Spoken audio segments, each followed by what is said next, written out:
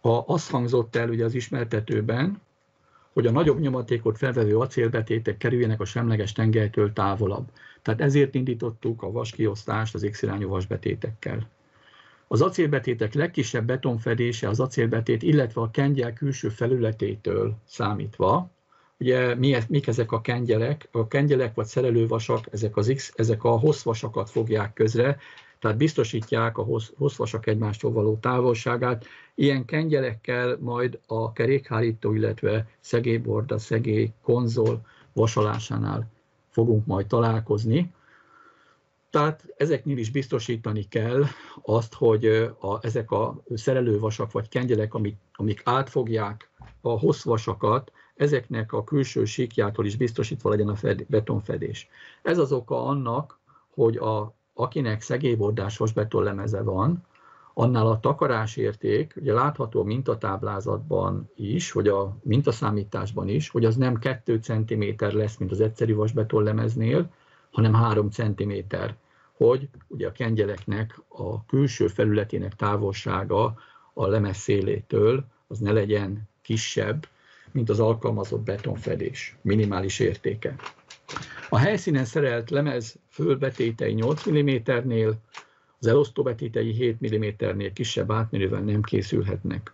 Mik ezek az elosztóbetétek? Megint ezek a kengyelek, vagy szerelővasak. A 8 mm pedig már elhangzott, ugye a felső övben elhelyezett acélháló méreti, minimális keresztmetszeténél. Tulajdonképpen miért is szükséges mind a két övben, alsó és felső övben ezeket a, vas, ezeket a vasbeton lemezeket vasalással ellátni? Ez a felső háló azt a szerepet tölti be, hogy amikor dinamikus terhelésnek van kitéve a híd, tehát egy jármű áthalad rajta, akkor természetesen az áthaladás következtében ugye mindig a legnagyobb nyomaték ugye ott lép fel, nyilván lemez közepén, a, ahogy, ahogy áttér, behajlik maga a lemez, majd ahogy a tehermentesítés bekövetkezik, tehát le, lemegy róla a jármű, visszarugózik úgymond, és a húzó, húzott öv átkerül a felső övben, tehát a lemez tetejére. Ennek a fellépő nyomatéknak a felvételére, tehát ami, ami azért lép fel, mert visszarugózik a lemez, ennek a felvételét biztosítja ez a felső acélháló. A főbetétek egymástól mért távolsága ugye függ attól, milyen lemezvastagság. A mi esetünkben az első kettő nem játszik szerepet, mert nagy valószínűséggel 15 cm lemez vastagságot sem választott senki, tehát mindenkinek a választott lemez vastagsága 15 cm-nél nagyobb. Ehhez pedig a harmadik pont tartozik. A 15 cm lemezvastagság felett a lemezvastagságnyi a maximális távolsága a főbetéteknek, de maximum 40 cm.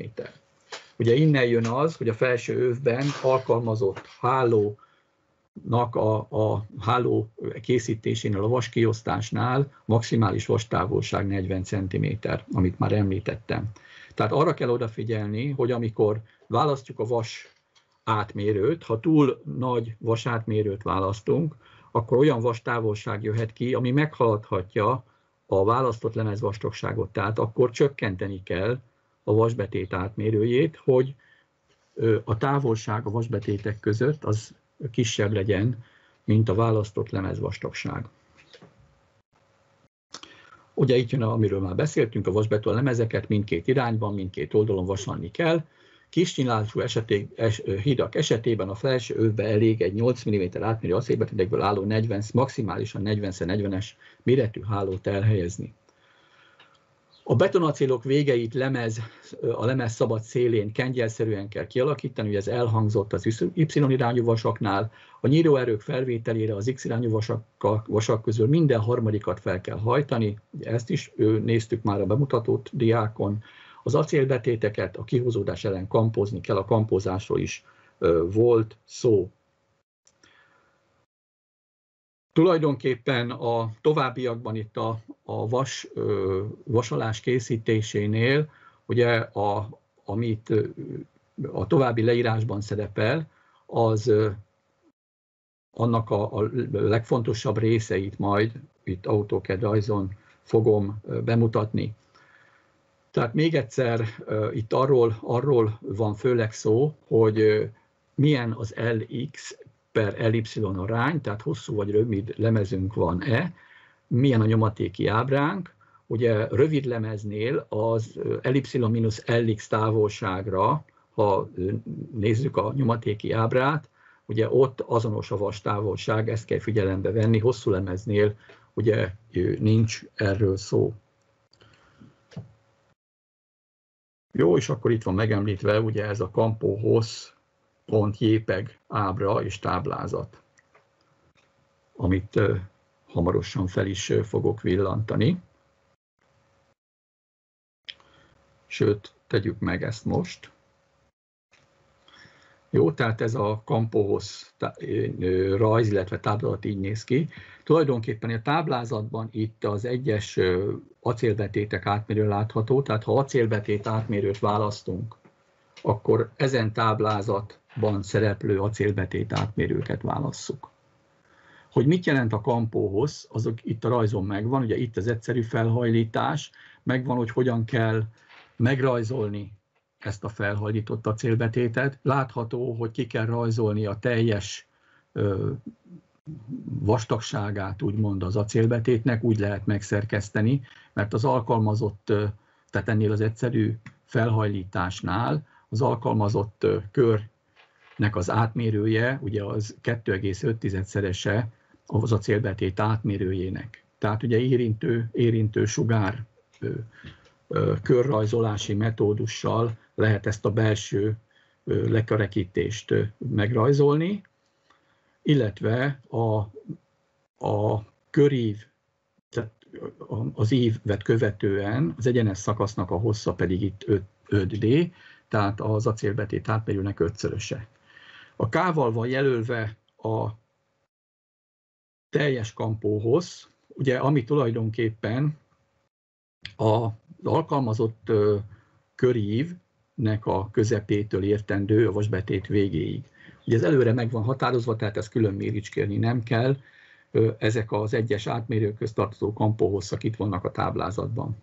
Itt a másik fajta kialakítás látható, a nagyobb átmérő acélbetétek, ugye 16-os vasbetét átmérő, milliméteres acélbetét átmérőtől már ez a kampó kialakítás van.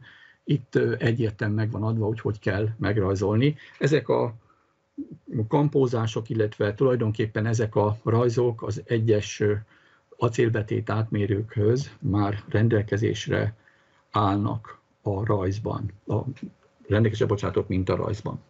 Tehát igazándiból itt ezzel nem is foglalkoznék tovább, és térjünk rá a számításokra, a mintaszámításra.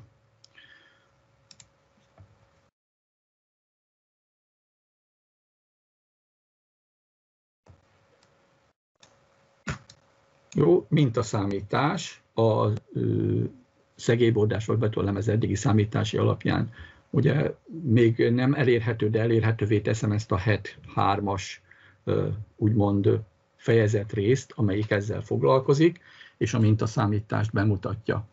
Az ezelőtti részek tulajdonképpen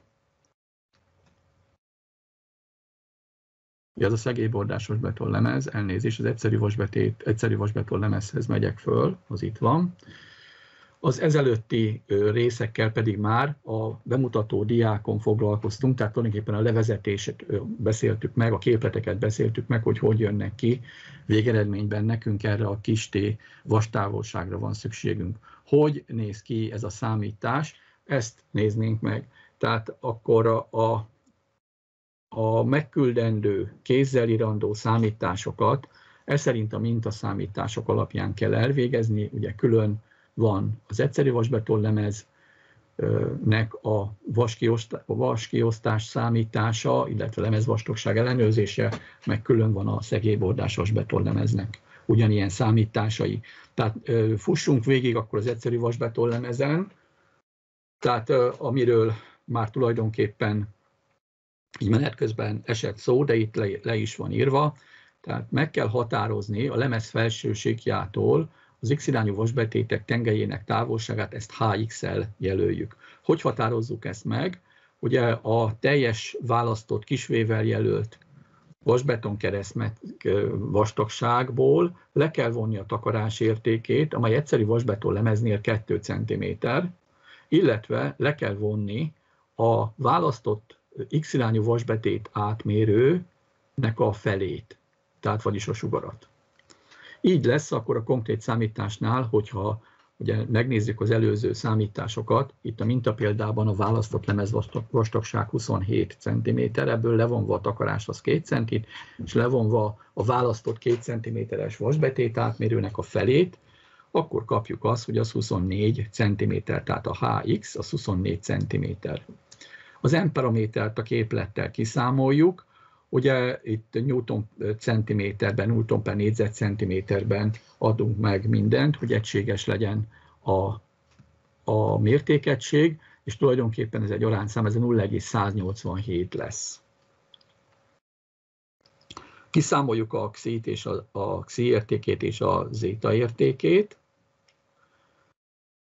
A xi értéke, ugye a, megvizsgáljuk a xi értékét, hogy az nem nagyobb-e, mint a 0,5, tehát a, a xi0 értékre megadott 0,5-es érték, ugye itt ez rendben van, ugyanígy az XMXR nyomaték esetére is meghatározzuk ugyanezeket az értéket. Ugye itt látható, hogy a xi paraméter már 0,33, de még mindig nem közelítette meg nagyon a 0,5-ös értéket, jön az Y irányú vasbetéteknek a távolsága. Ugye itt figyelembe kell venni azt, hogy addig, amíg az X irányú vasbetétek esetében ez a HX távolság, ugye ez 24 centi, addig az Y irányú vasbetéteknél még, ugye mit kell levonni a vas, vas, a, a vasbeton lemez vastagságából, a 27 cm-ből a takarást, a teljes átmérőjét az X irányú vasaknak,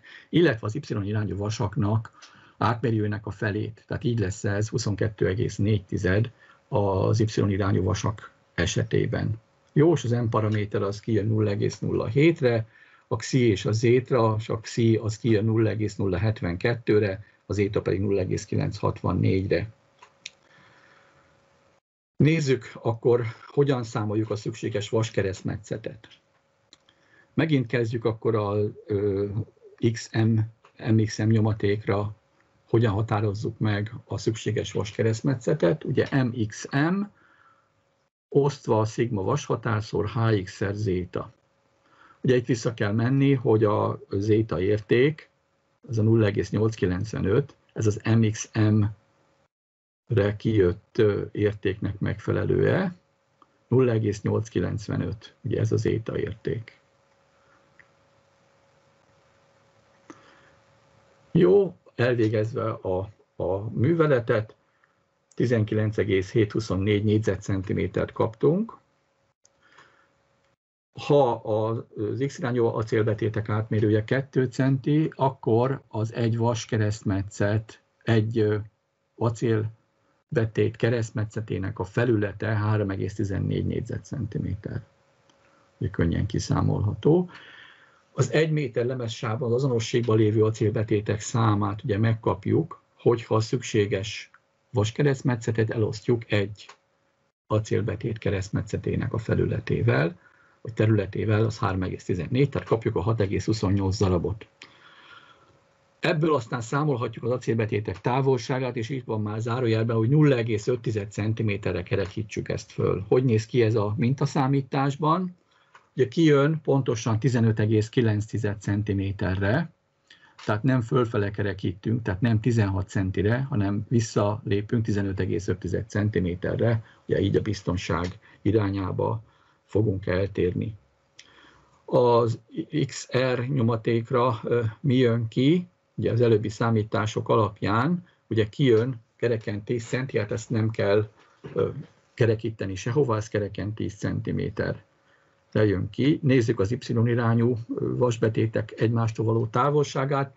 Ugye itt a választott acélbetét átmérő az 1,2, tehát 12 mm, centiméterben 1,2. Ennek megfelelően a egy vasbetét keresztmetszetének a területe 1,13, kijött darabszám méterenként 5,64. Az acélbetétek egymástól való távolsága az kijön pontosan 17,7-re, amit 17,5 cm-re fogunk kerekíteni.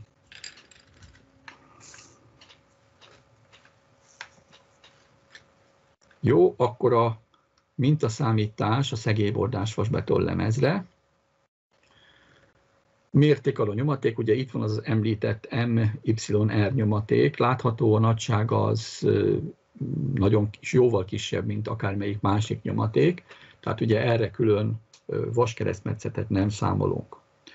A szegélybordás vasbeton lemeznél már említettem, hogy a betontakarást azt a 2 cm helyett 3 cm-rel növeljük annak érdekében, hogy mivel a szegélybordás vasbeton lemeznél a szegélybord, a szegélykondó vasolása együtt készül magának a lemeznek a vasolásával, ugye itt némi problémát is vetesz fel, ugye nem látjuk még azt, hogy a szerelővasok hogy helyezkednek el, ha esetleg vissza kell majd nyúlni ilyen szegélybordás vasbetonlemez esetén az x irányú vasbetétek kialakításához, erről majd a későbbiekben lesz szó, de az is elképzelhető, hogy nem kell visszanyúlni a lemez vasalásához. Ha vissza is kell nyúlni, nem a vasbetétek távolságát kell változtatni, hanem legfőjebb, hogyha a szegély bordába esik egy felhajtott X irányú vas, akkor annak a egyetlen egy felhajtott X irányú vasnak, ugye minden harmadik X irányú acélbetétet ugye fel kell hajtani a nyíróerő felvételére, annak a méretének a megváltoztatásáról van csak szó. Tehát a számításokat, hogyha nézzük, tehát most uh, uh, itt is ugye nézzük az x irányú vasbetétek re milyen vastávolság jön ki MXM nyomatékra. Ugye itt is a, kiszámoljuk először a, a H távolságot, ugye 27 cm, itt is a választott lemezvastagságából levonjuk a 3 cm-es csakalást, és levonjuk az X irányú acélbetét átmérőnek felét.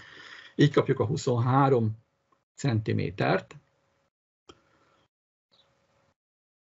A a nyomaték a kisebb paraméter az 0,228, a XI értéke 0,236, tehát megfelel, X, erre mi jön ki a XI paramétere 0,379, tehát szintén megfelel, az Y irányú vasbetétek távolságának meghatározásához ugye meghatározzuk az Y irányú vasbetétek átmérőt, ami itt a minta példában 1,2 cm vagy 12 mm, takarás továbbra is 3 cm.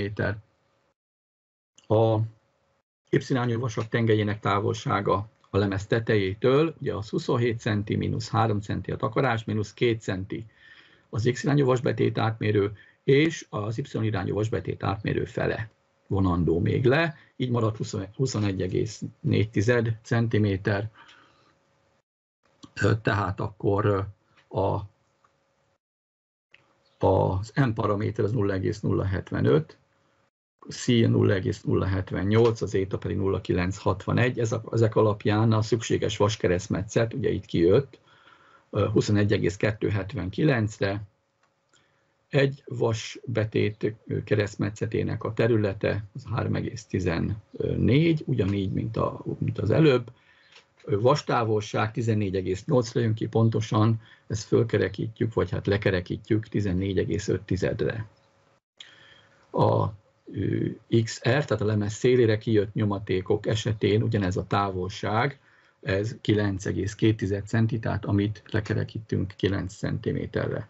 Y-irányú vasbetétek esetén pedig ez a vastávolság, ez 17,2-re jön ki, amit lekerekítünk 17-re. Jó, tehát végigmentünk most a számításon, a mintaszámításon, tehát ugyanígy kell majd a kézzel elvégzett elvégzendő számításokat is leírni ugyanebben a sorrendben, ugyanilyen formában, ahogy itt látható, tehát azt gondolom, hogy ennek a megvalósításával nem lesz probléma. Ami kijött, ami a vastávolságra majd kijön, majd figyeljék meg az Excel táblázatba kijött értékeket, ugye ha eltérés van, akkor valami számítási hiba csúszott a, a kézzel végzett számításokba. Tehát, de a számításokat így kell, ahogy itt a mintában is látható, tehát képletbe helyettesítéssel, mint ahogy a nyomaték számításnál is kellett megoldani.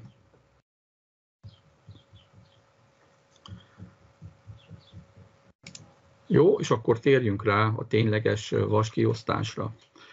Tulajdonképpen milyen ábrák állnak rendelkezésre?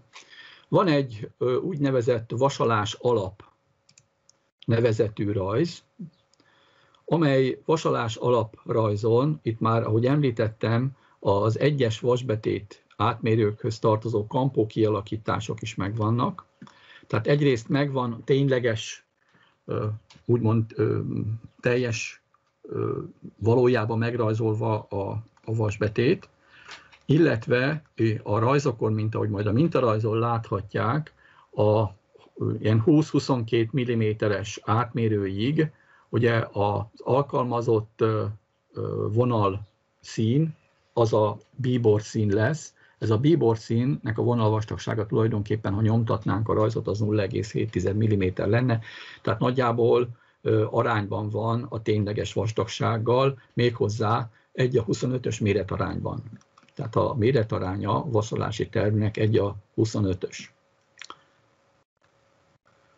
A blokk formájában rendelkezésre áll a tényleges vasátmérőnek megfelelően egy kitöltött kör, az átmérője ugye megfelel a 1-25-ös méretarányban a tényleges acélbetét átmérőnek. Így van ez 22-es acélbetétnél, ugyanígy a 8-as acélbetétnél, 10-es, 12-es acélbetéteknél.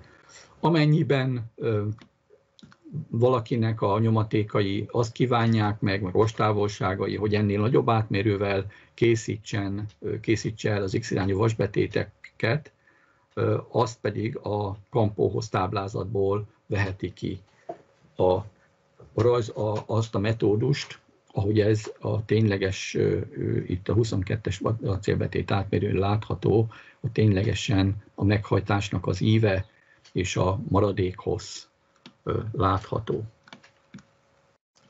Tehát ezt fogom rendelkezésre bocsátani.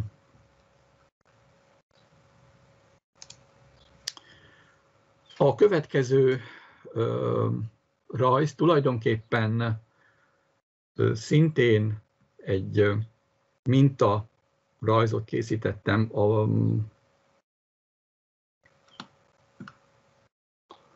amit majd rendelkezésre bocsátok, hát ugye vasalási tervezés minta. Tehát van egy vasalás alap, tehát tulajdonképpen az a rajzformátum, amiben ténylegesen el kell készíteni majd a vasalást. Hogy néz ki ez ebbe az A3-as lapra, hogy helyezkedik el? Van egy vasalási terv minta, említettem, hogy rendelkezésre bocsátok egy tényleges mintát, tehát tulajdonképpen a vasbeton lemez vasalásának függetlenül attól, hogy szegélybordás vagy nem szegélybordás, ugye külön választjuk a szegélyborda szegélykonzol vasalását a lemezvasalástól, úgyhogy hogy nagyjából a feladat azonos mértékű legyen mindenkinek. Ha ez esetleg ezen némi módosítást kell végrehajtani, azt majd a szegélyborda szegélykonzol vasalásánál tesszük meg. Ugye egyszerű vas, vasbeton lemeznél pedig említettük már, vagy említést tettem arról, hogy a, meg úgy is van kialakítva a maga a keresztmetszeti rajz, hogy a, szeg, a kerékhárító az utólag kerül ráépítésre. Tehát a lemez miután kiállványoztuk, akkor kerül rá utólag a kerékhárító, tehát amúgy is külön vasalva készül. Jó, tehát így néz ki maga az elkészített mintarajz. Látható, hogy itt a negyedlemez látható felülnézetben, itt látható a félhosszmetszet, itt a félkeresztmetszet. A félkeresztmetszet az gyakorlatilag mindenkinek ugyanolyan, csak ami különbözik, az a, az átmérő, tehát egy kicsit bele nagyítok, nem az átmérő, hanem a lemez vastagság, ami különböző, tehát a lemez vastagság pedig hatással van az acélbetétek kialakítására is. Jó, itt pedig az X irányú acélbetétek láthatók, ugye azok pibor színűek. Jó, látható az is, hogy a vasbetéteket teljes méretben ki kell rajzolni. Említettem azt, hogy ezen a mintarajzon feltüntettem, hogy itt az x-irányú vasbetéteknél ugye minden harmadikat fel kell hajtani, hogy a felhajtás mi szerint történik, a két felhajtási pont között LX távolságnak kell lenni. Tehát ez adja meg ezt a felső töréspontot. Egyébként a kialakításnál ez a felhajtás után a vízszintesre való visszatérés, ennek a, ennek a szöge, ez 45 fokos. Ez is ugyanígy az Y irányú vasnál, ami kengyelszerűen van kialakítva, ez itt van. Említettem, hogy a kengyelszerű kialakításnál a kengyel felső vízszintes részének a hossza az LY per 6. Gyakorlatilag ez mindenkinek, ez a távolság ugyanaz lesz, ez 0,8333, hát így fölkerekítve 0,83. Ez így elegendő. Jó, és akkor igazándiból ami, ami, ami megtervezendő, ugye először is a keresztmetszettekbe helyezzük el az X-irányú vasbetéteket, azok hol látszanak metszet formában, a Y-metet a keresztmetszetben, az itt látható, ezeket osztjuk ki, látható itt az minden harmadik acélbetét, ugye kettes számú, a kettes számú a felhajlított acélbetét, az meg itt látható. Jó, tehát ennek a kiosztása a, az első lépés, aztán X irányú vasbetét ugye hármas sorszámmal a felsőbe is helyezkedik el, de csak 8-as átmérővel, itt a betontakarás figyelembevételével, itt így vannak kiosztva. Ha ez is megvan, akkor jönnek az Y irányú vasbetétek, jönnek a, az alsó övben, az alsó övben elhelyezendő kengyelszerűen kialakított acélbetétek. Ezek tulajdonképpen hol látszanak metszetben? A hosszmetszeten vannak, tehát itt lehet kiosztani, alkalmazni a tényleges kiosztást, és ugyanígy a, a felső övben is. Jó, tehát itt van a két acélháló, az alsó övek felső övnek az acélhálója, még annyit a vasbetétekről, hogy itt látható a mintapéldában, hogy ezeket sorszámmal kell ellátni. Tulajdonképpen a készítés, hogy az elhelyezés sorrendjében ugye egyes, kettes, hármas, négyes, ötös acélbetéteket vettünk sorra. A, a vasbetétek egymástól való távolságának meghatározásán, illetve az elhelyezésnél. Mit kell megadni még egy-egy vasbetéthez? Még ez látható itt a ezen a mintarajzon, hogy meg kell adni az, hogy ebből a készre meghajlított acélbetétből hány darab kell, teljes lemezre vonatkozóan, ugye ez teljes lemezhosszra van megrajzolva, tehát a vasaknak nem a metszetét ábrázoljuk, tehát nem a felét, hanem a teljes acélbetétet. Ebből az egyes számú vasból 28 darab kell, 22 mm az átmérője. Kell az a hossz H-val jelölve, ez a 695, ez miből tevődik össze?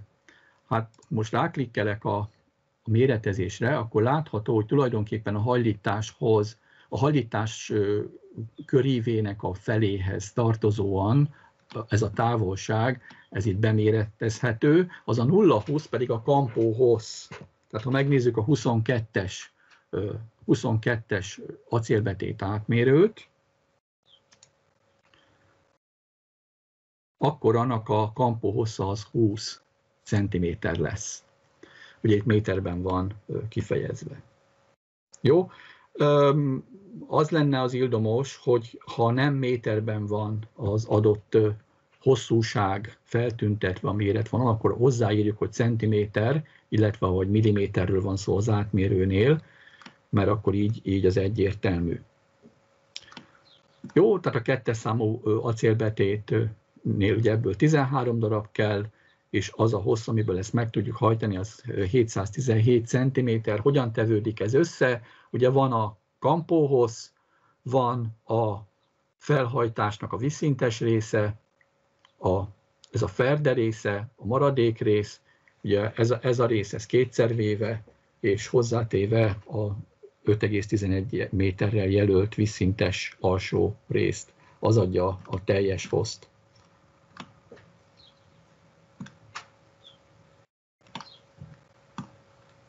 Jó, nem tudom, hogy ezzel kapcsolatban van-e valami kérdés, tehát ez lesz majd a grafikusan elkészítendő rész.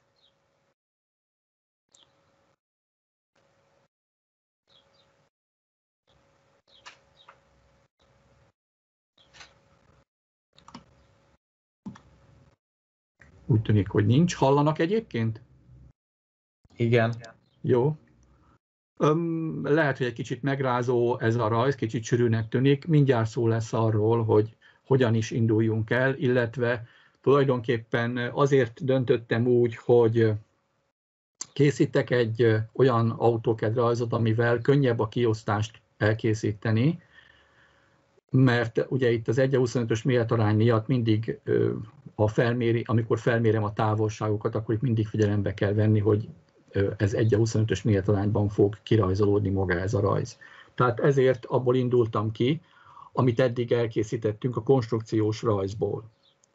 Tehát hogy is néz ki ez a bemutatandó minta. Tehát ez a rajz, amit most látnak a képernyőn, ez majd rendelkezésre lesz bocsátva, látható, hogy a felső részén a rajznak a konstrukciós rajz szerepelt itt az az elnevezés az első beadandó rajznál. Itt nincs másról szó, ezt mutattam be.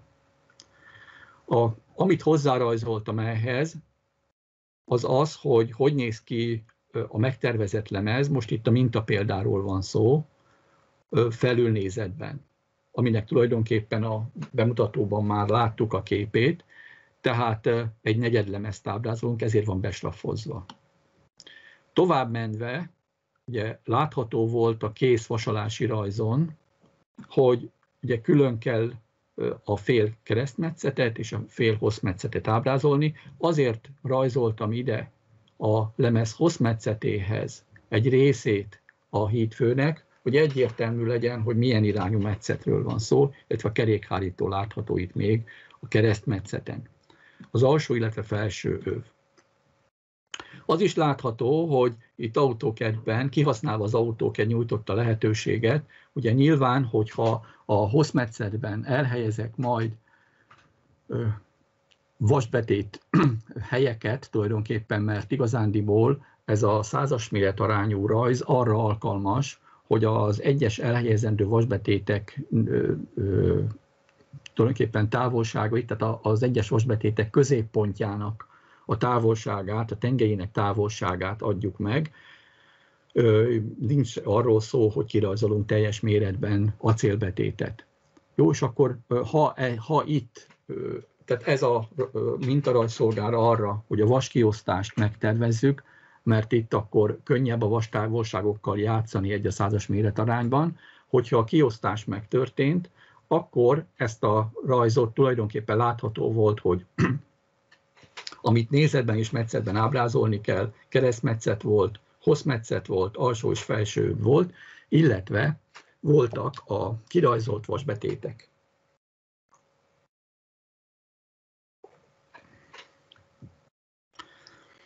Most tehát arról lesz szó, hogy hogyan is indulunk el a tervezéssel.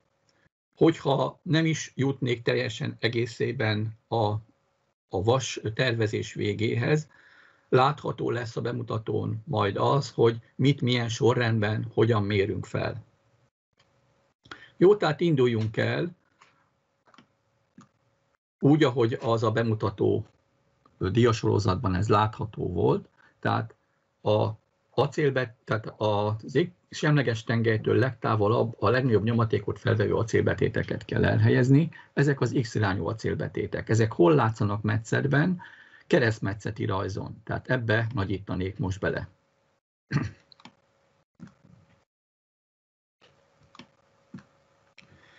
Először is egyszerű vasbetonlemezről van szó, a bemutatott példán, talán egy pillanatra átkapcsolva vasolási terv mintára, ez viszont látható itt a takarásból.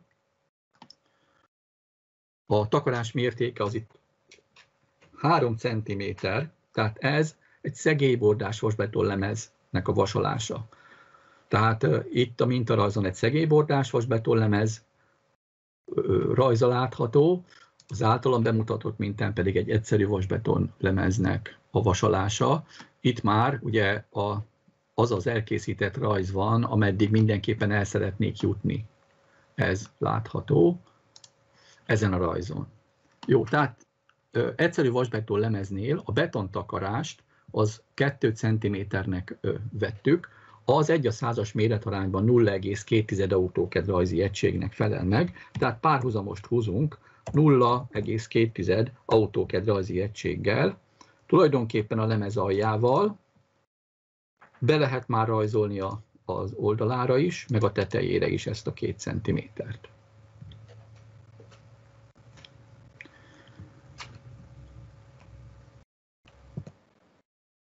Ha így a takarás be van rajzolva, tehát tulajdonképpen az elhelyezendő acélbetéteknek a külső felülete érintheti ezt a vonalat.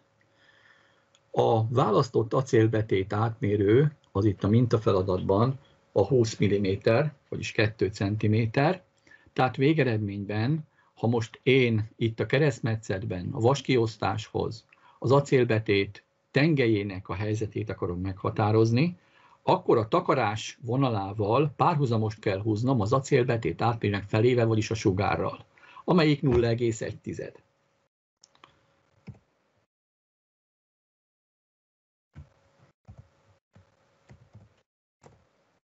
Jó, tehát a most húzott párhuzamos itt az alsó övben, tehát a lemez aljánál már a x-irányú vasbetéteknek a tengelyének a vonalát mutatja be.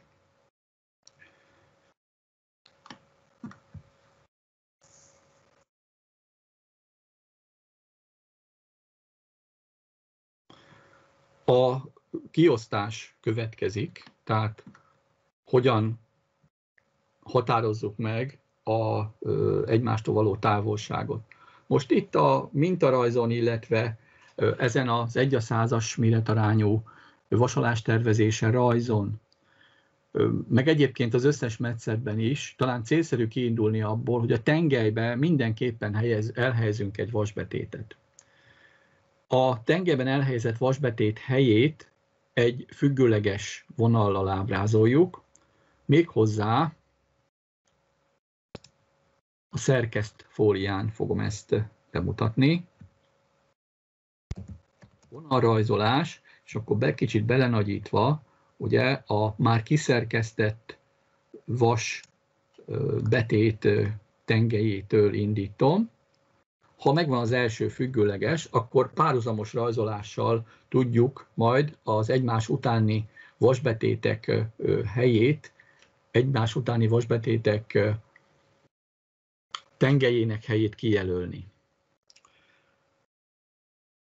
A MX-M-re kijött, de a mintapéldában a, a lemez az rövid lemez, viszonylag kicsi 0,41-2 az ellipszilon-lx érték. Tehát itt ugye arról van szó, hogy ellipszilon-lx értékre ugye azonos távolságra rakjuk az acélbetétet, de az annyira pici, hogy két vasbetét átmérővel, már megold két vasbetét elhelyezésével, ami kijött MXM-re, az 15,5, ugye lefele kerekítettük, arra kell ezt elhelyezni. Tehát párhuzamos rajzolás, ugye a, 15,5 cm az 1.55 autóked rajzi egység, tehát itt rajzolunk kettőt egymás után. Aztán nyilván ezt többszöri próbálgatással lehet megvalósítani, hogy ez jól jöjjön ki. Ha lehet, ahogy említettem, ne hágjuk át azt a szabályt, hogy a vastávolság legfeljebb 5 mm, tehát 5 mm-re föl legyen kerekítve, tehát itt 15,5 volt az előbb, tehát ne legyen legfeljebb 13,5 vagy 12,5 vagy 11,5 az, az lehet, de ne legyen itt 11,2, 3, 4, stb. Jó, a következőt azt helyezzük el egymástól, a következő hármat helyezzük el egymástól 14 cm-re, a, amelyik 14 cm az megfelel 1.4 autókedv rajzi egységnek. Egy, kettő, három. Három vastávolság az 14 centire van egymástól. Aztán a következő legyen 13, ugye most miért csökken? Ugye arról van szó nyomatékjának megfelelően, ugye a lemez szélére kijött nagyobb nyomatéknak megfelelően, ugye meddig haladunk, 10 cm-ig. Tehát a, a 10 cm-es vas, vastávolságig kell eljutni így kötegelve. Jön a, a 13, tehát akkor az a párhuzamos rajzoláshoz most 1.3-at írok be, és ebből viszont négy darabot.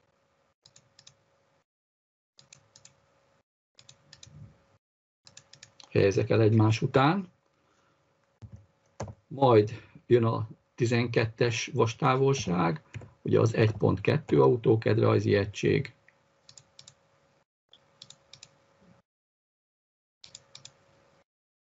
Ebből is négyet. Majd a 11-es vastávolság jön. Egy a távolság, ebből is négy darab.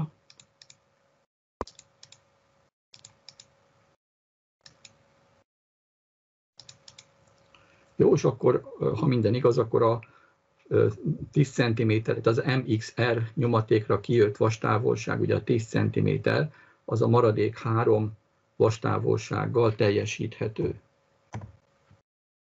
Tehát az tulajdonképpen egy rajzi egységet jelent.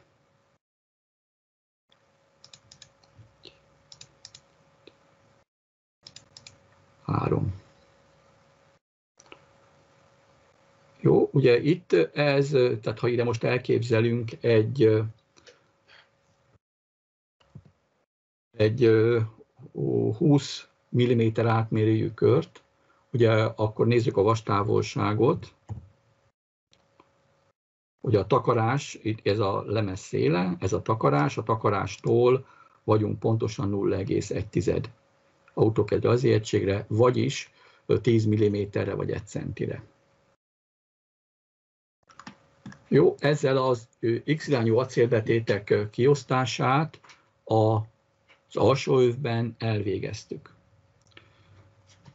Az alsó övbe elhelyezett x irányú acélbetéteket ugye meg kell jeleníteni a felülnézetben is. Ugye külön van az alsó és külön a felső öv.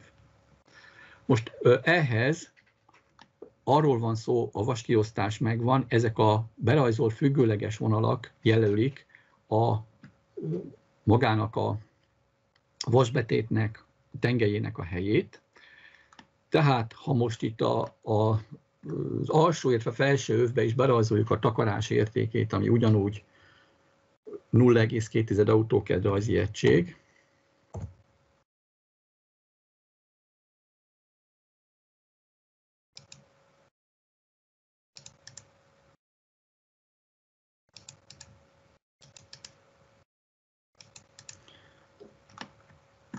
akkor a, és a vaskiosztást jelölő függőlegeseket másoljuk át.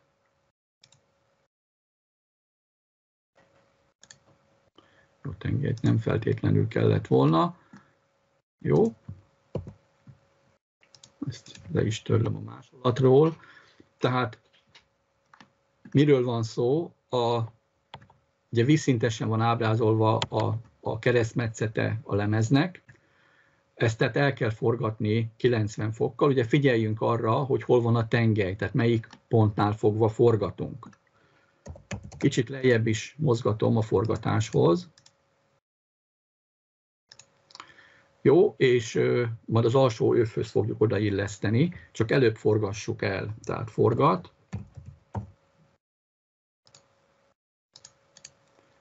ez lesz a forgatási pont, és mivel a forgatási irány az óramutató járásával megegyezően lesz 90 fok, ezért azt mínusz előjel adom meg, ugye az AutoCAD pozitívnak értelmezi az óramutatással mutatóval ellentétes irányú forgatást. Jó, látható is egyébként, hogy a lemez közepén a legnagyobb a vastávolság, és a lemez szélén pedig már egyre csökken. Mozgassuk el akkor a vaskiosztást jelölő most már vízszinteseket,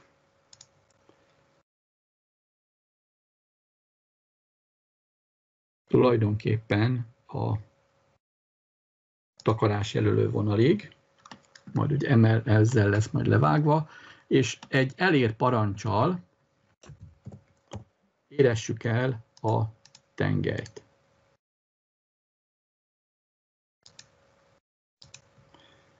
Ha egyszerre kijelöljük, akkor ez egyszerre megvalósítható, illetve metszük le a takarásnál.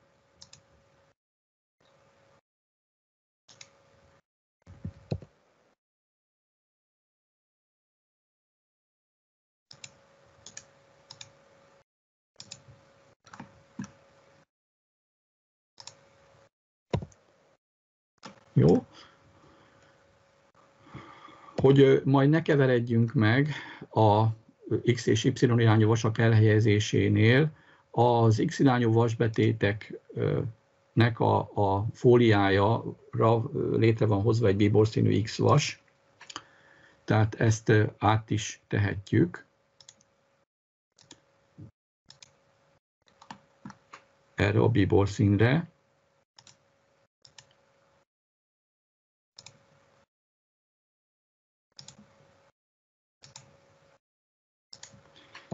hogy x irányú vasbetétekről van szó. Tulajdonképpen a vaskiosztásnak ez a talán legnehezebb része, ugyanis itt kell megoldani azt, hogy jól jöjjön ki ez a vaskiosztás. Itt még, ami, amivel most itt ezen a rajzon nem foglalkozunk, ugye minden harmadik vasat fel kell hajtani, ezt valamelyik irányból el kell kezdeni vagy a tengelyt, és a tengelybe lesz az első felhajtott, és akkor egy, kettő, harmadik a következő, stb. Így lesz az egyes, kettes, hármas vas. Amit én beszeretnék mutatni, az a vaskiosztás megtervezése, az, hogy konkrétan ez hogy néz ki, majd ezt a vasolási terv minta rajzon úgy is fogják látni. Jó, hol vannak még X irányú acélbetétek? Ugye van még a felső övben is elhelyezve. Nézzük a felső övet. A felső övben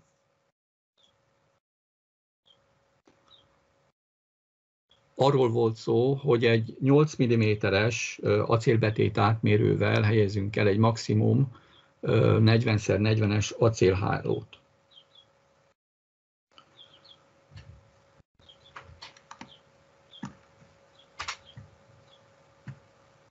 Honnan kezdjük itt is a, a kiosztást az x-irányú vasakkal. Egyrészt határozzuk meg itt is a, a tengelyét az x-irányú vasaknak, ugye a takarás van eddig berajzolva felül, tehát a, a, a vasbetét átmérő az 8 mm, akkor annak a sugara 4 mm, tehát a tengelye a takarástól számítva, ugye az 0,04 autókedrajzi egység.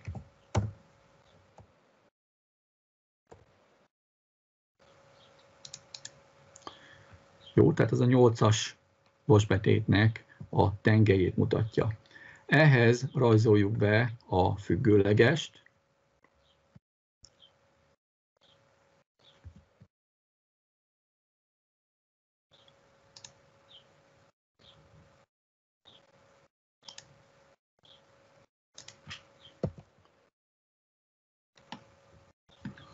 és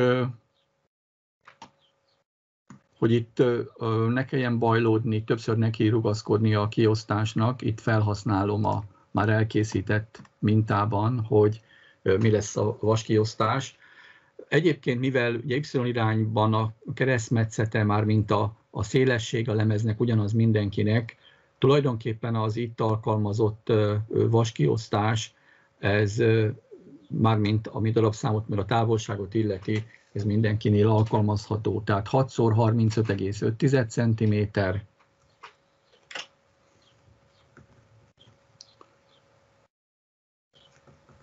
és és egyszer 34,6, ami, ami itt kijött. Ez a 30,6 ugye ez nem teljesen elégíti ki azt a kritériumot, hogy 5 centire kerekítünk. Igazándiból itt a maradék távolságnál ez így megengedhető. Jó, tehát akkor készítsük el a, a kiosztást, tehát párhuzamost rajzolunk 3,55-tel, ugye ez a 35,5 centinek megfelelő, 3,55-tel, méghozzá 6-szor,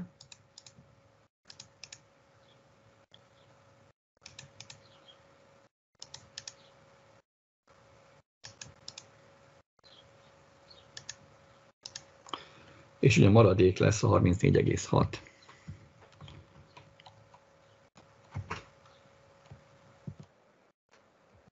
Pontosak akarunk lenni, de az, ha 34,5, ugye az 1 mm-es tolerancia megengedett, ha nagyobb a takarás. Tehát inkább, ugye, hogyha csökkentjük a vas távolságot, akkor a, a vas, alkalmazott vasbetétnek a külső palástja az közelebb lesz. Tehát nyugodtan írhatunk 3,45-öt is.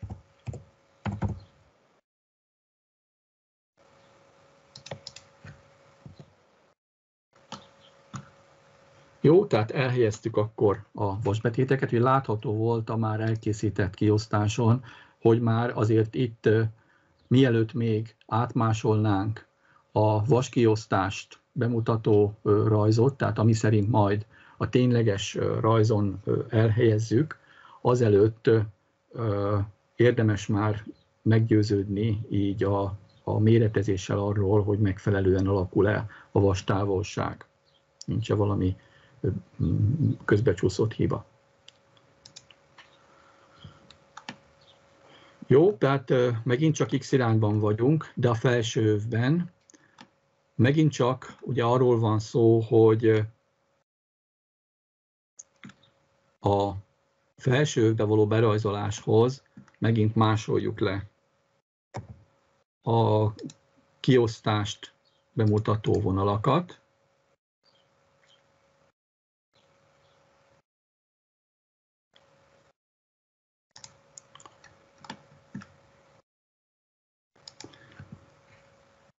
forgassuk el, mozgassuk el, és forgassuk el 90 fokkal.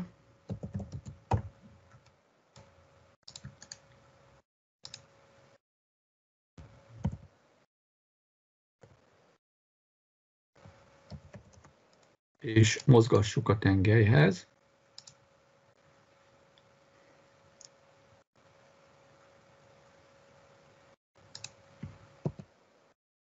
És az elér parancsal éressük el a tengelyt,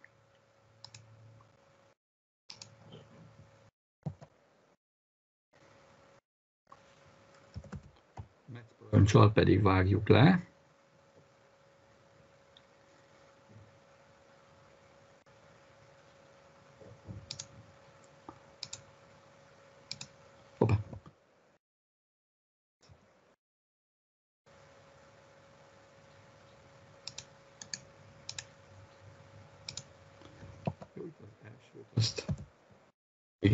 Hosszabbítottam meg.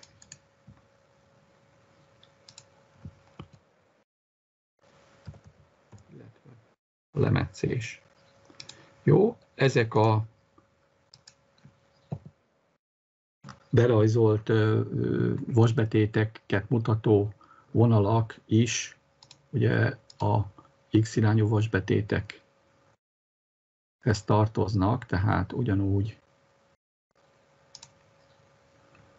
átteendők az X irányú vasakra. Ezt nem jelölte ki. És akkor az X irányú vasbetéteknek végül is a helyének meghatározásával végeztünk, de most a nézeti rajz következik ezeknek az X irányú vasbetéteknek. Tehát még egyszer a vasbetétek keresztmetszetét jelölő kitöltött köröket, amik ugye láthatók voltak a vasalás alaprajzon. ezek már akkor kerülnek majd be, mikor ezt átmásoltuk a 1 25-ös méretarányú rajzba, illetve megnöveltük skálázással, ugye a mérték, mért egy parancsal lehet négyszeresére felnövelni ezeket a rajzokat, és úgy, úgy elhelyezni ott. Akkor ott kell majd ténylegesen berajzolni. Tehát itt sok értelme nem lenne, mert nagyon pici lenne az ábrázolandó kitöltött kör. Nehéz lenne láttatni. Tehát nézzük akkor a, a, ezeknek az x-irányú vasaknak a nézeti rajzait.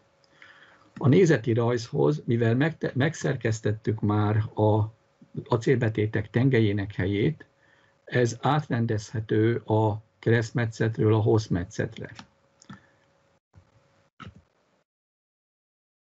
Ortó legyen bekapcsolva, végül is arról van szó, hogy ide berajzolunk,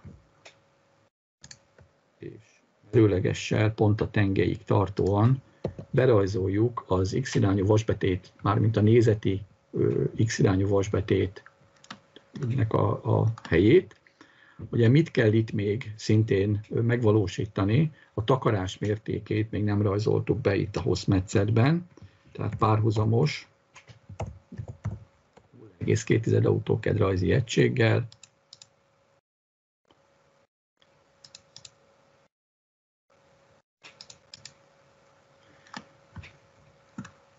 Ó, és mivel a berajzolt vonal ugye túlnyúlik így, lemetszük a takarás vonalával, ugye ez lenne az x-irányú vasbetét. Tehát ezt át is tehetjük mindjárt az x-irányú vas fóliára. Viszont ennek az x-irányú vasbetétnek ugye az átmérője 20, 20 mm, a 20 mm-es acélbetét átmérő tartozóan a kampózás, az itt látható, tehát ezt a kampót kell elhelyezni ide a végére. Az, hogy hova helyezzük el, ugye az attól függ, hogy a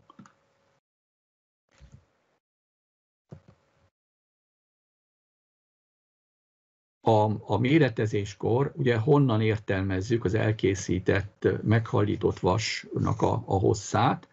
Ugye az ebben az esetben a meghajlítás körívének a felétől számítandó, tehát ha mi lemérjük, hogy x irányban mennyi a távolság a,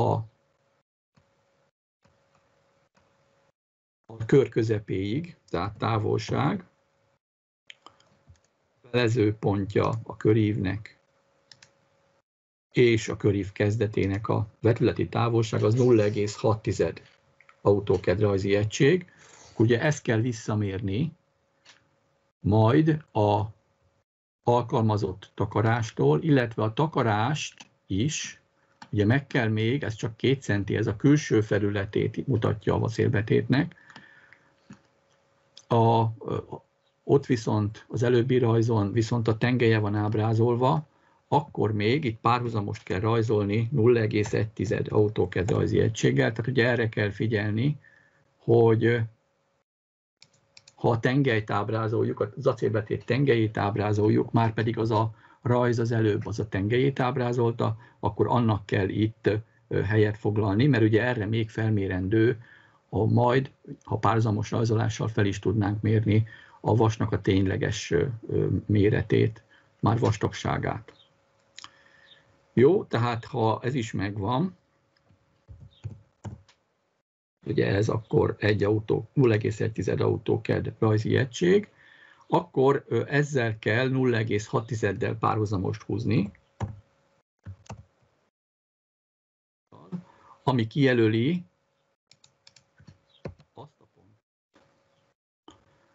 ahova majd be kell illesztenünk a, a kampózás, kampónak a, a, a tényleges ö, hosszát, viszont pont ellentétes irányban van, mind, tehát le kell tükröznünk egyszer itt a mintarajzon lévőt. Egyszer függőleges tengely mentén, Hogyha az ortó be van kapcsolva, akkor ez könnyen megvalósítható. Illetve most pedig a vízszintes tengely mentén még egyszer.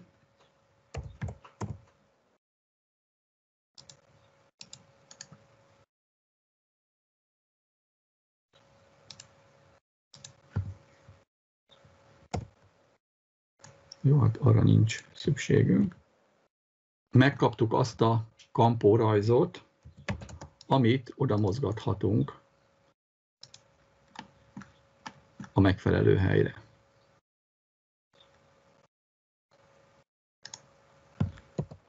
Jó, és akkor át is tehetjük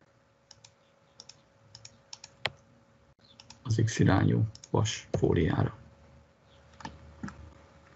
Jó, és lemezhetjük a X irányú acélbetétnek a felesleges részét.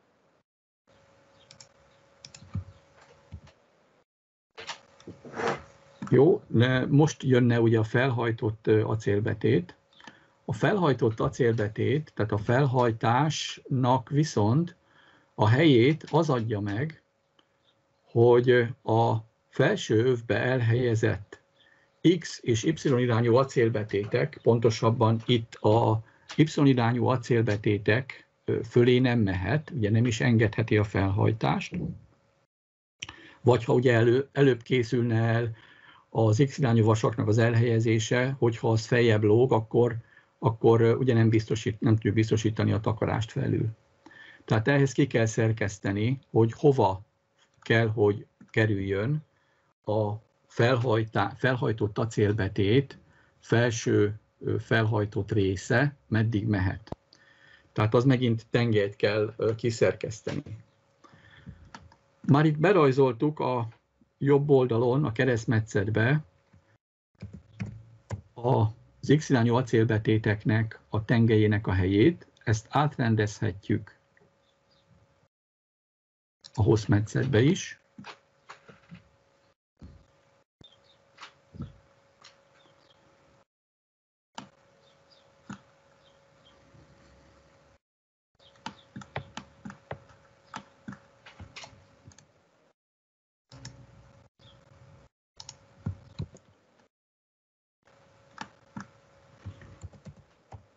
Vágjuk le a felesleges részt. Jó, tehát ez tehát a, az x irányú, tehát a felső, az x irányú vasbetétnek a tengelye. Tehát, hogyha meg szeretnénk kapni ennek a 8 mm átmérőjű acélbetétnek az alsó síkját, akkor párhuzamos kell húzni 0,04-jel a, a tengelyel lefele. Ugye ez a 8 mm-es vasbetétnek az alsó síkja. Jön az Y irányú vasbetétnek a berajzolása, ugye az ugyancsak a tengelye az 0,04, tehát ez annak a tengelye, illetve az alsó síkja. Ha megvan a, a Y irányú vasbetétnek, ami ugye az X irányú vasbetét alá kerül az alsó síkja, akkor innen ahhoz, hogy megkapjuk az X irány, felhajtott X irányú acélbetét tengelyét, akkor az, X irányú acélbetét sugarával kell még párhuzamost húznunk, ami 0,1.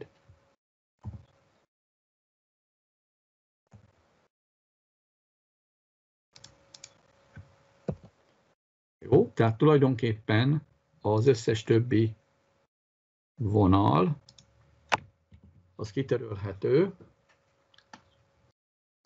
Itt a felső, felsőbe az x vasat nem kell kitörölni, mert ide úgyis akkor jön a, a nézeti rajza annak az x-irányú acélbetétnek.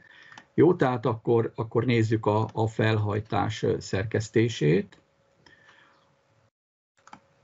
A felhajtáshoz, tehát az, hogy hol hajtjuk fel, itt akkor igénybe veszem a már elkészített rajzot. Ugye ez a felhajtás között kell LX-nek lenni. Tehát ugye ezt le kell mérni.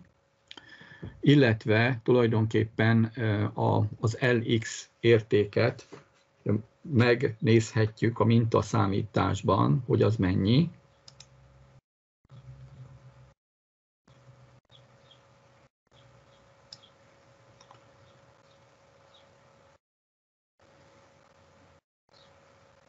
Jó, de nem ebben a, az állományban, hanem tulajdonképpen két lehetőség van. Egyrészt mint a Excel táblázatban megnézhetjük, hogy mennyi az LX.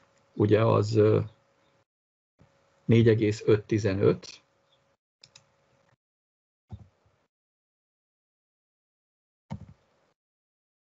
osztva kettővel, 2,2, 2,2575.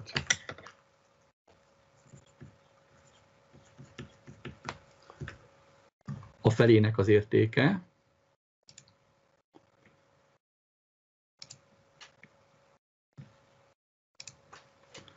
Jó, tehát a távolság, ami, ami itt mérni kell a tengelytől, az 22,575. Nézzük meg, hogy itt a mintarajzon ez megfelelő-e. Igen, tehát erről van szó. Térjünk rá a tényleges rajzra. Tehát húzzunk párhuzamost a tengelyel. 22. Az LX per 2 értékkel. Jó, ez tehát akkor kijelöli a felhajtásnak a helyét. A pontvonalat azt érdemes folyamatosra váltani, hogy a meccéspont az megtalálható legyen. Ahogy említettem, tulajdonképpen a szerkesztfóliáról át is mehetünk az X-irányú vasra, hiszen most a, a felhajtott felhajtást kell megrajzolni, ami említettem, hogy 45 fokos, tehát vonalrajzolás.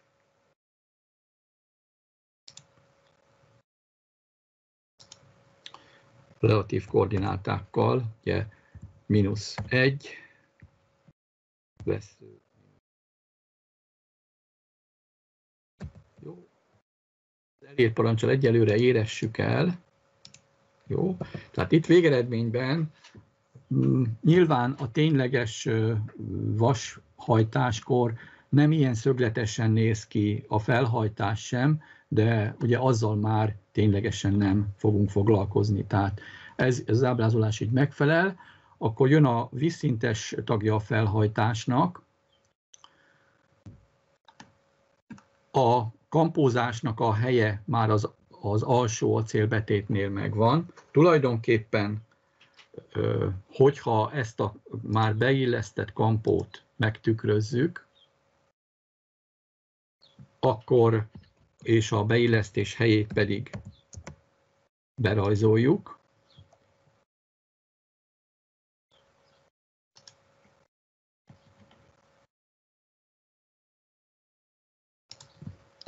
átvetítettem rajzol, akkor, akkor ez a kampó könnyen megrajzolható.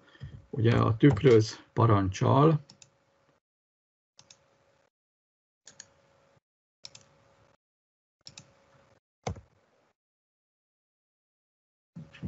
megvan a letükrözés, és a helyére kell mozgatni.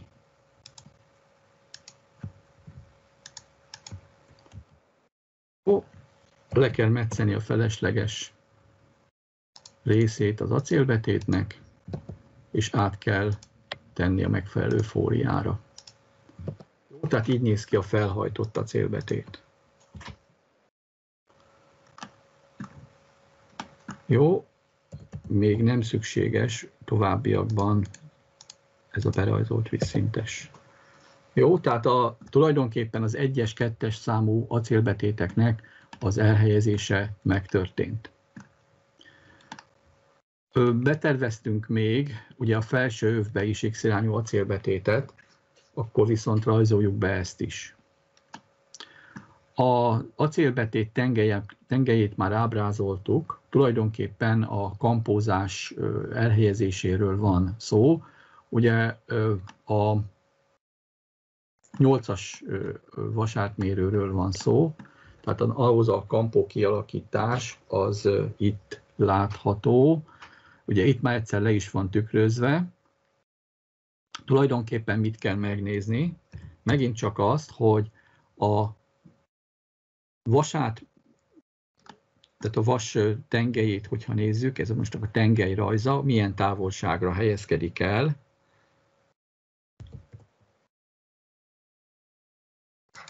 A hajlításnak a legtávolabbi pontja,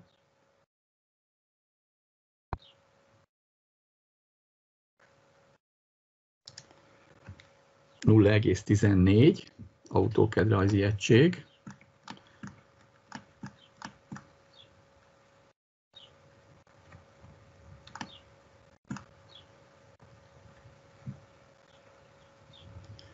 Jó, tehát a takarást figyelembe vesszük, akkor a, a tengelye az a 0,04 autókedrajzi egység, Jó, tehát ez akkor a, a tengelye, és 0,14 még innen.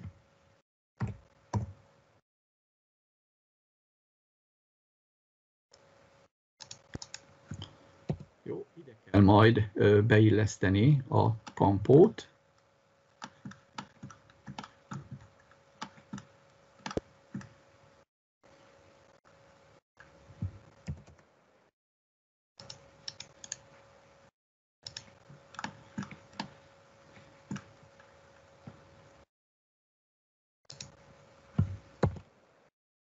Jó, és a szintén X irányúról van szó. Most itt a vas, át, a vas keresztmetetét, a vas átmérőjét nem veszük figyelembe a színezésnél, erre majd viszont figyelemmel, figyelemmel kell lenni a vasalás alap 1-25-ös méltányú végleges rajzba való áttélesztésnél, hogy azt szerinti fóliára tegyük majd.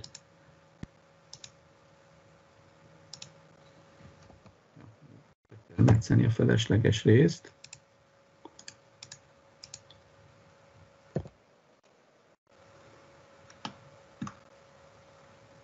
Jó, és itt a nézeti rajzon tulajdonképpen a felesleges vonalak kitörölhetők, hogy átláthatóbb legyen. Tehát ez lenne akkor a felsőben elhelyezett X irányú acélbetét.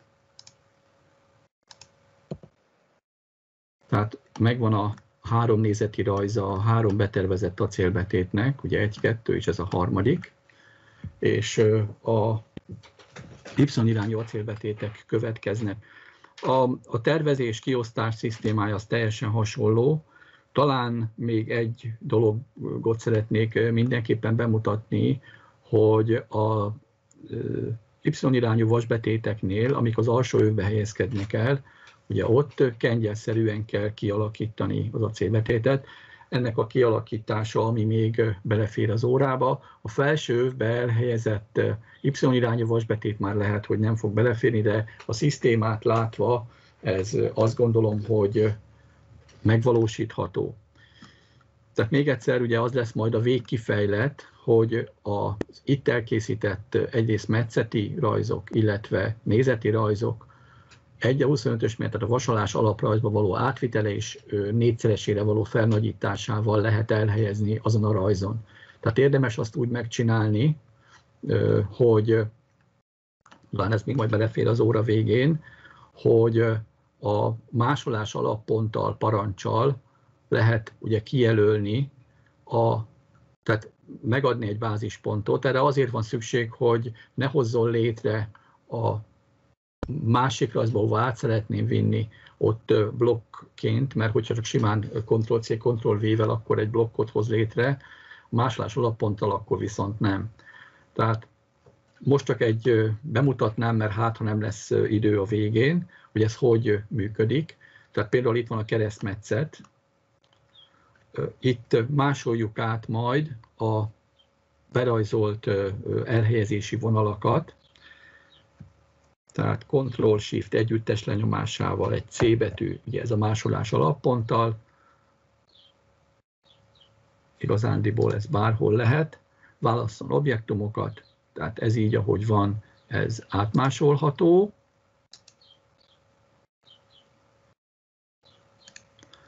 Átmegyünk a vasalás alapba, nem kell feltétlenül mindjárt beletenni a végleges helyére, majd ezt ráérünk utólag is elhelyezni a mintarajz alapján. Itt egy Ctrl-V-vel tudjuk behozni. Ugye így néz ki, és a, azt kitöröljük, mert arra nincs szükség a méretezésre, tehát akkor a lépték, parancs, vagy angolul scale parancsal válasszunk objektumokat, adjunk bázispontot, és a referencia az négy, négyszeres. Tehát ezt kell majd a megfelelő helyre mintarajz alapján bemozgatni.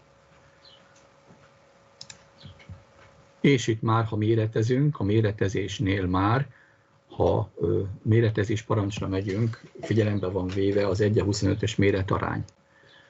Jó, tehát ez csak a bemutatása lett volna annak, hogy hogy tudunk áthelyezni ide az 1 a százas méretarányú rajzon, a vasolás tervezése rajzon megtervezett vaskiosztást, és ha már itt vagyunk, akkor már azt is megmutatnám gyorsan. Betonacél KM, van egy fólia, amelyik a betonacélok keresztmetszetét mutatja be, tehát ez egy 20-as acélbetét, tehát a beparancsal megkeressük a 20-as acélbetétet, és gyakorlatilag itt arról van szó, hogy a vonalak végéhez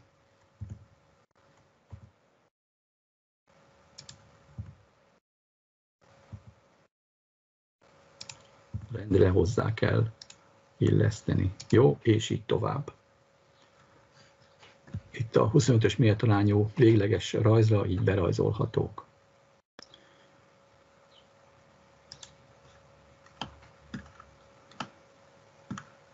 Jó, tehát akkor egy dolog van még hátra, a Y-irányú vasak közül az alsó övbe elhelyezkedő vasbetétnek a helyzete, hogy ez hogy rajzolandó meg. Tehát egyrészt a kiosztás, másrészt pedig a nézeti rajza.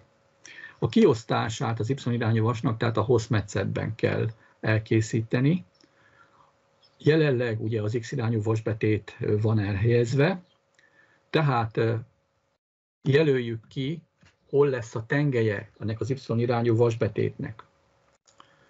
Húzzunk párhuzamos, tehát először szerkesszük ki a, a, az X-irányú vasbetétnek a külső felületét. Az 0,1, mert 20-as vasról van szó. Ez tehát, ezt át is teszem a szerkesztfóliára, hogy ne zavarjon. Tehát ez a 20-as X-irányú vasnak a felső síkja. Erre ugye felmérendő az Y-irányú vas átmérőjének a fele, vagyis a sugara, az pedig ugye 0,06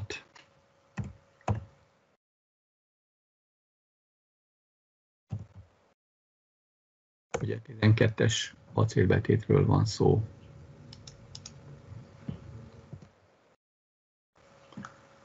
Jó, akkor ez lesz tehát a X irányú vasbetétnek Y irányú vasbetétnek, bocsánat, ezt ki is törlöm, a, a tengelye. Tehát ezen, a, ezen fognak elhelyezkedni, tehát erre a tengelyre fogjuk rárajzolni a, a kiosztásokat. Jó, pillanatra megnézem a már kiosztottat. És itt a kengyelszerű kialakítás is.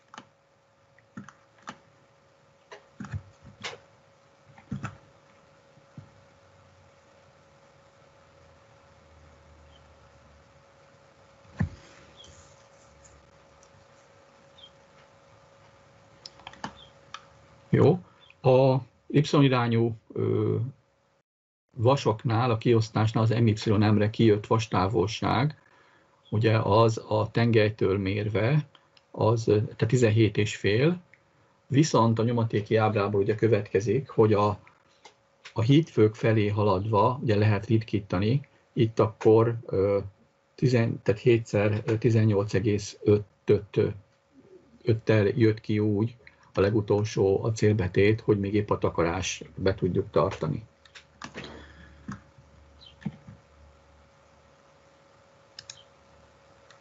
Jó, tehát megint akkor rajzoljuk be az első mérővonalat. Ez a lehet akkor az Y irányú vas is, fólia is.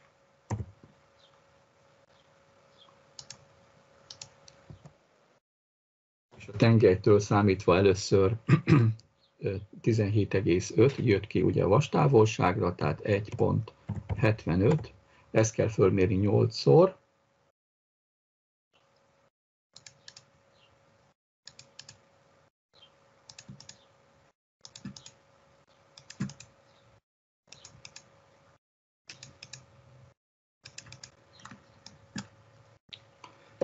majd 7-szer 18,5-öt. 18,5-öt, 18 pont.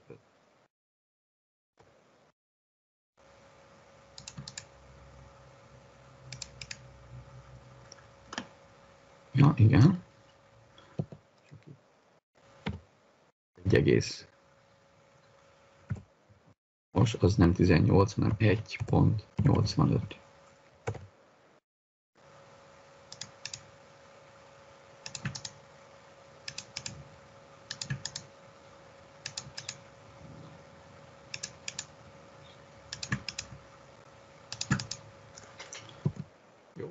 megvan a, a, az Y irányú vasbetéteknek is a hosszmetszetben a kiosztása.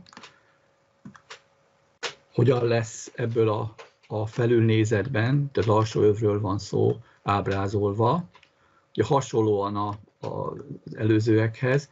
Itt a tulajdonképpen egyszerű a dolgunk, mert a rajz úgy készült, hogy pontosan az alsó övnek a rajza az pontosan a hosszmetszet szerinti szélességben van meg, tehát csak át kell másolni.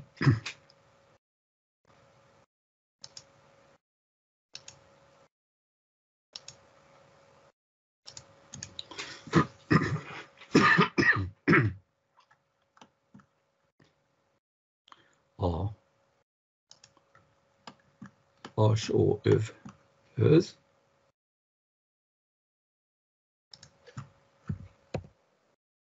és az elér parancsal el kell éretni.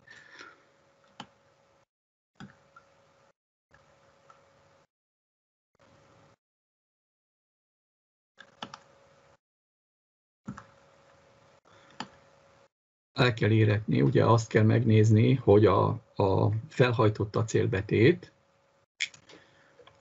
az hol helyezkedik el, tehát az a takarás figyelembevételével annyi van csak ugye ráhagyva, amennyi az acélbetétnek a ö, sugara. Tehát a takarásra még a bemutatáshoz,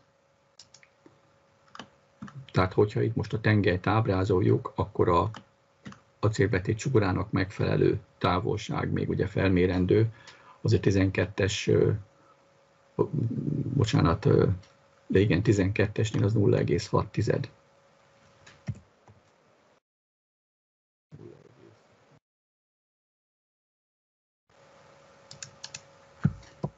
Eddig kell igazándiból eléretni.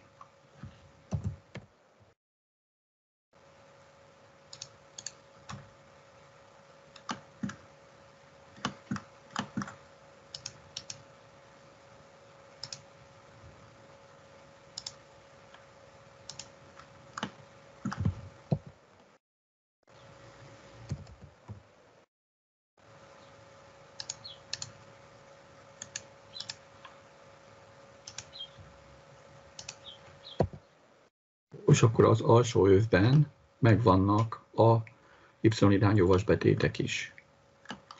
Jó, és akkor a nézeti rajza hiányzik még ennek az Y-irányú vasbetétnek, amely a hosszmetszetből, ugye ahol megvan a Y-irányú vasnak a tengelye,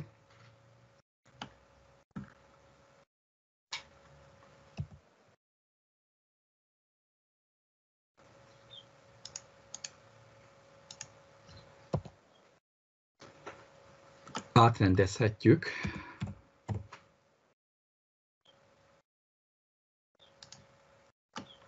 De ortó be van kapcsolva, tehát átrendezhetjük ide a másik old, a keresztmetszetbe.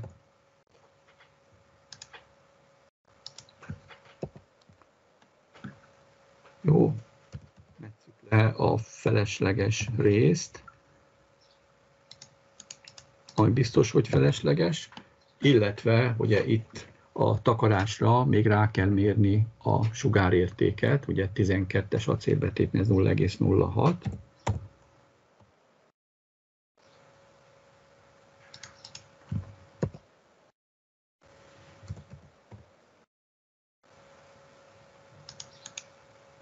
mert az acélbetét tengelyét ábrázoljuk.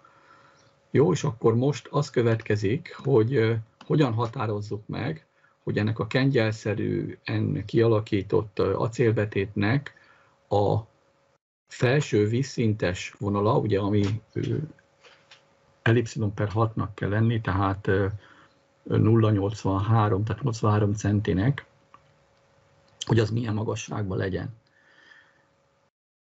Itt a keresztmetszetben, amit már megtörtént, ugye kiosztottuk az X-irányú acélbetéteket, viszont ö, hiányzik még az X-irányú vasbetétek alatt foglalnak helyet az Y-irányú vasbetétek.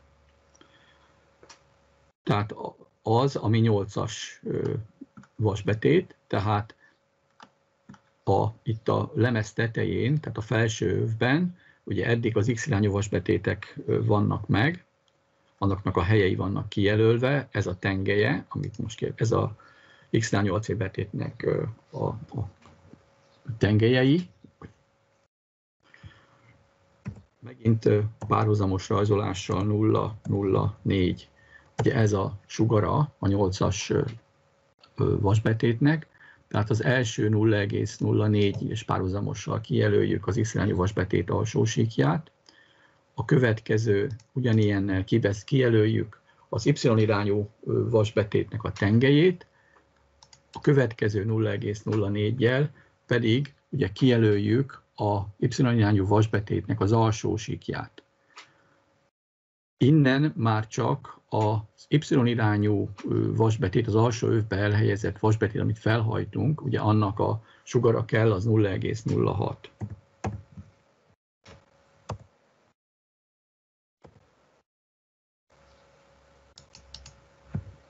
Jó, tehát ez lesz akkor a tengelye. Tehát végeredményben az összes többi vonal most így kitörlendő, hogy ne zavarjanak bennünket.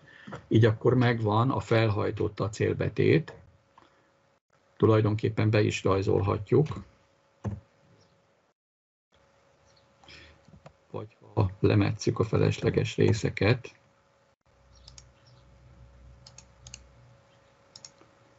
akkor elő is áll a Y-irányú vasbetét, ugye ez a tengelye. Jó. A felmérendő érték, ugye arról volt szó, hogy 83,3 centi, tehát az párhuzamos 8 pont 3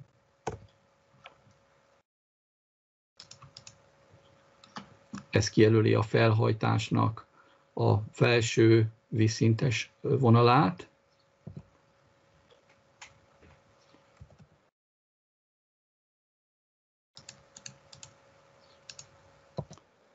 Innen a kengyelszerű kialakítás tulajdonképpen ezt is átszínezhetjük.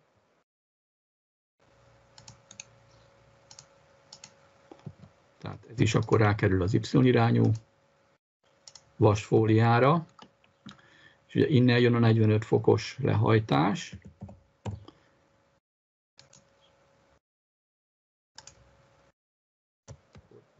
A megadással egy vesző mínusz egyel.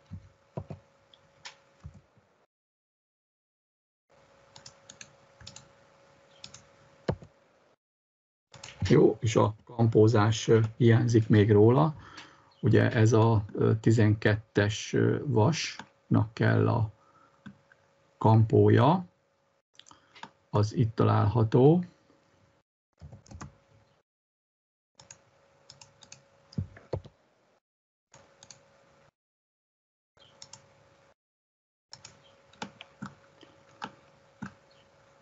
Jó, ide közelebb rakom.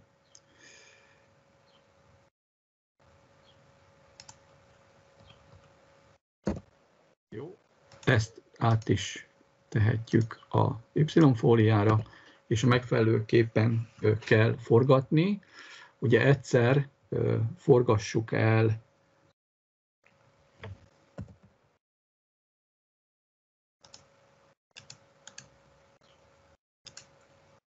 ...90 fokkal, majd ugye ez a lehajtás, ez, ez 45 fokos, tehát még 45 fokkal.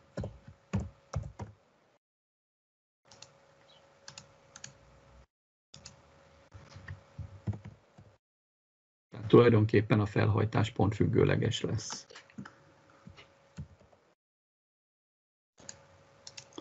Jó, hova helyezzük el? Ugye megint mi az, amit föl kell mérni? A Y irányú vas tengelyéről van szó, tehát innen még felmérendő a sugárérték. 0,6.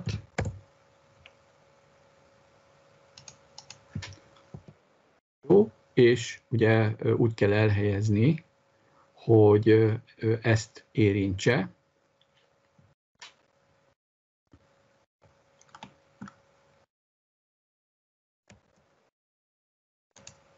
Jó, tehát itt egy szomszédos fogó az jól jön, tehát ezt kell érinteni.